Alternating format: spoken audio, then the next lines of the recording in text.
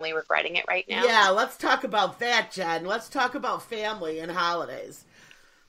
I don't know what in my right mind thought, oh yeah, come for dinner. Wait, Jen, do y'all have Thanksgiving? Yeah, we had it like a month ago. Okay, so what are you doing anything this Thursday? Work.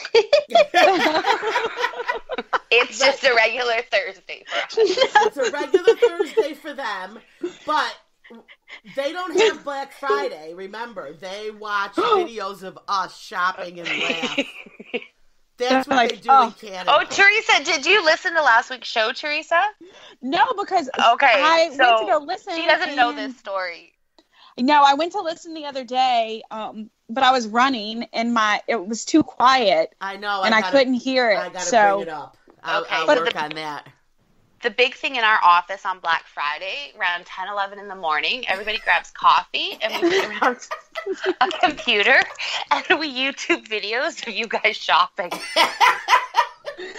Oh my god, that's the greatest. Because y'all are insane. you are running each other over for toilet paper and toothpaste. well, right, but Jen, Jen, didn't you say like it, it used to kind of make sense, right? Because it was a TV for twenty It was bucks. big stuff, right? but it was last like, year, a thou- like- she's like it was a thousand inch TV. 20 rolls of Pat Bounty toilet paper. Like, it's come to that. grandma's over for this stuff. well, I don't know if you know, but toilet paper is expensive, so Yeah. Tough Well, economic times. in the United States, we have hit an all-time low where we will literally punch each other for toilet paper. You know, and basically, Jen said it made sense when it was a big screen TV, but now we've just all gone downhill. Oh, I totally forgot. Speaking of big screen TVs, Ryan uh, wanted to buy some fancy TV. I don't even couldn't even tell you what it is, um, because we're currently have no TV in our living room. We have like a computer screen that'll play the basic cable. But so he negotiated a deal, and our TV is supposed to be coming in Monday because the Black Friday deals weren't supposed to be good enough. I have Oh. no idea. It was like a it's a two thousand dollar TV. It's absurd Nice. But- it's something called like greenthumb.com or green something and you just like negotiate you it's not like you bid you just say how much you want to pay for your tv Uh huh. and then someone will like counter so how much did he get the $2,000 TV for? no he got it for $2000 Oh. but it's regularly like 3000 Wow, which that's is pretty cool. let's let's not talk about how absurd that is But but it's probably one of those 3D. It's called like an leod4 i don't yeah, know it's yeah, it's something fancy. But um, you know, nothing that you can't get next year for uh, five hundred. But we won't go there. Um, yeah we won't go there. See, I'm not interested in all these fancy 4D HD TVs because my eyes are so crappy. Everything's fuzzy anyway. right like we got an HD TV and it doesn't look any different to me last year. I'm like, it's everything still fuzzy. Can't you wear wait me too seriously My I'm like, my eyes aren't good enough for this. This thing apparently, like something with when you see black, it's like a true black, and regular TVs aren't true black. I don't even know what that means. And I'm like, but my eyes, they're fine with whatever black I'm currently seeing. Also, do I need to see the housewives in like microscopic detail? I don't. I don't. Like I got they- of Teresa flipping the table without 40. I understand. I know. I'm totally with you. Do I really need to see how much makeup they have caked on their face? It's too much. I agree, Margaret. It's too much. Football. Yeah, you know, I don't think the housewives like it either because No. I think they like the soft focus, a little Who would fuzzy. want it's not it? doing them any favors. Right. I mean, football, yeah, maybe some nice National Geographic shows. All right, makes sense. But yeah, I don't want to see those bitches close up. I really don't.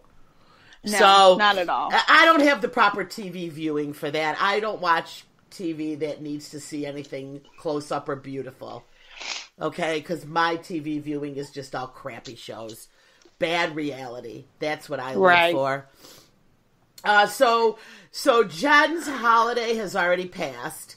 Uh, Jen's Black Friday shopping is not going to have. So, Jen, do they have it there? Any shopping? They shopping? do. They're trying to like because so many Canadians go to the states on Friday to shop. Yeah. They've tried the last couple years to get people to stay here and shop, so all the stores do it. Um, and there are some good deals, but it's not like people aren't lining up. Um, do you guys do Boxing Day? No. We do not. Boxing Day, I think, is our equivalent Black Friday, like the day after Christmas. And that's But when day everybody. after Christmas sales are a big thing here too. So we kind of do this twice. Yeah, that's when like everybody is going out, like lining up at six in the morning to go shopping. Well, Cyber Monday's really good too. the what? Cyber Cyber Monday. Monday. Oh yeah. But wait, so you know how there's Cyber Monday? So now, because they're trying to make Americans not such assholes with all this shopping, they also now have Giving Tuesday, where you're supposed to donate to a charity on the Tuesday after Cyber Monday. Oh. Well, Oh. isn't that fun? And Yeah. Small Business Saturday. Yeah. And Taco Tuesday? Taco I mean- Tuesday. So organized. Taco Tuesday. Small Business Saturday. What happens on Wednesdays? Wine on. Wednesday. Wine. Yeah. So much wine. Then we got Thirsty Thursday. Yeah, Hump Day. Wednesday's Hump Day. Yeah. That's true. Thank God it's Friday. Yeah, The states are Yeah. so organized. Right? You guys are awesome. yeah, yeah. So, uh, Margaret, you are Yes. having. Let's talk about your family uh, holidays. Yes. your family Thanksgivings. Oh, so I have. I'm just gonna say family members Right. Who have exceedingly restrictive diets, Uh oh.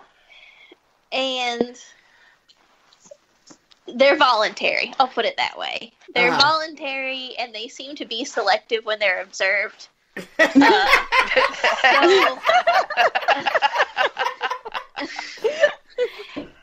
it's um I find it to be more of a manipulation technique than anything. So like what kind of stuff? Yeah. so this one particular person that's the worst offender is I always say like she's down to eating birdseed at this point. like first and none of this is like vegetarianism like most people are because the animals or whatever. It's Or all these sort of because they have uh, or anything, in right? my no, in my opinion, we've got a severe case of hypochondria happening here. and so, you know, years ago it started with like no meat and then no sugar and then okay, you're not look, you can't make this stuff up. Then they decided salt was no longer healthy Salt. and but wait, wait for it. So now this person will not go to the beach anymore because she doesn't even want to breathe in the salt air. Oh my god. Oh, bless you.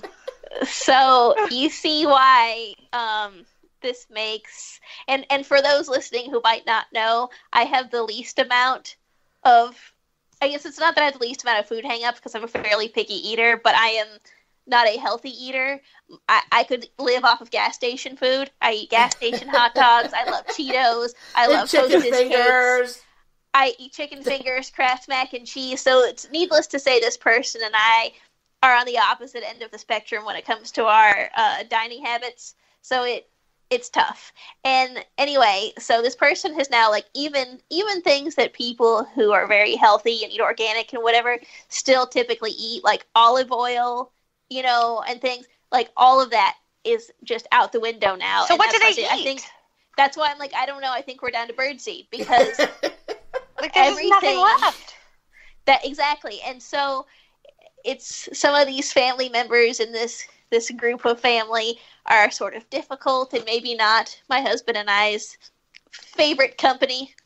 And so it's sort of like at thanksgiving it's like what's the point? What are we what are we doing here? You're not even you don't even eat this food. Here's your ice cube on a stick. Right. Um, and I and some of these family members have such an aversion to the microwave that if I like use it to melt some butter or you know anything when I'm preparing Thanksgiving dinner, they actually leave my house. Wait, you. you What you is the microwave gonna do? Wait a minute! The microwave. the microwave sends off uh, dangerous waves. Hello. Appar- like, look, I get maybe not like you know pressing your face against the glass and like watching the thing cook. Like, I get not wanting to do that. I could even maybe, you know, understand like not even wanting to stand in the kitchen. Like, fine, like I personally clearly don't care enough about my brain to leave the kitchen. But even if you don't want to be in the same room, okay, they they go outside and sit in their car while I'm Oh running my the gosh. microwave, and they stay there for like 20 minutes. Oh I would So just run the which- microwave the whole day. Well, I was gonna say, which at the end of the day works in my favor because it gets me a break from these people. But you know, it's true. Maybe next year, if we have it back at my house again, I should just cook the whole meal in the microwave. Oh, and that's what just I would stay do. outside the whole night. Wait, so uh Marge, so you didn't send her the little screen grab of like, oh, I'm cooking a turkey in the microwave. How Oh, long do I need to do it? Do that. Uh, yeah, that would be something. That, but um, anyway, so all of this drama over the years has this year led us to uh, we've told both sides of the family, even those that we don't necessarily have issues with, but just for the sake of hitting the reset button. Back in March, my husband and I made a reservation for two at Ruth Chris and that's what we're doing. And I called the other day, and it's all booked up, so no one could come with us if they wanted to at this point. It's a reservation. Uh, Oh, I love it. So there's so no that's what we will be doing. Yes. Perfect. So she's going You to know? Ruth Chris for Thanksgiving holiday. How about- we, we yeah. are? How, oh, well, you know what? Let's uh, let me take a quick break, guys. We've uh, filled up this half, and we will uh, we'll be right back.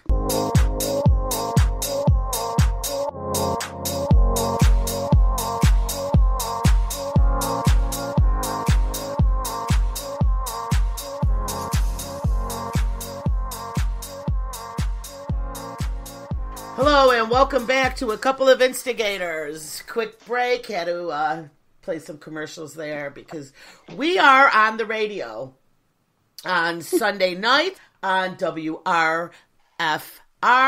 Then we will be dropping to podcast on Mondays, and we are on everything, everything. iHeartRadio, uh, SoundCloud, iTunes. You can follow us on Couple of Instigators Facebook, Couple of Instigators on Instagram. And uh, because there's so many now, I'm not changing the name, but I did add a couple of more instigators. so you can still find us on a Couple of Instigators. Okay, so we're talking about family dinners. This is how we ended it uh, last, uh, the last uh, one. So uh, next, we're gonna Teresa. What what goes on with you for for Thanksgiving?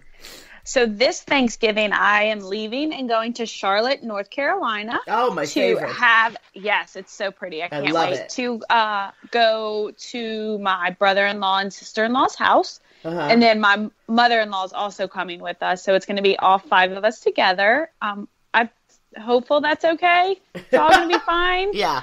um, we're planning on just really eating and then my sister-in-law are going to be drinking martinis nonstop Right. so we'll think I think it'll be fine. But we have discussed. So my brother-in-law has gained a little bit of weight, but not like tragically like obese. He just looks like a car salesman now. Uh-huh. And so he said he wanted to prove that he was still in better shape than his wife Lydia. And so we're going to have an NFL type compound uh col- column combine combine Combine. combine. Um, so I'm super excited that we're just gonna be like drunk running like laps. Nice. Uh, You're so insane. like, but I'm not quite sure what we're gonna do. And then we're also going to hike some. I think at some point if the weather's nice, Uh-huh. and then uh, we were trying to figure out how long of a hike we wanted to do because we also want to continue on with the drinking. And um, yes. my this- mother-in-law was like, "Well, I can do whatever y'all can do." So I think her two her two sons decided they wanted to do like a 15 mile hike. So it's gonna get in. yeah, we- it's gonna get interesting. I'm bringing treats. You're bringing the cat. No, I said I'm bringing Treats. treats for Oh, myself. treats. Okay. the cat. I thought you were bringing the cat.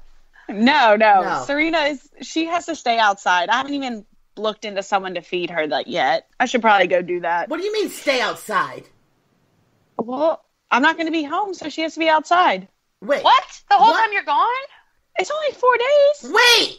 Wait, wait, Can't leave wait, outside for four days. wait. This is insane. It's not that cold here, guys. Wait a minute. What? You're locking her up outside? No, she's gonna free range. What? Why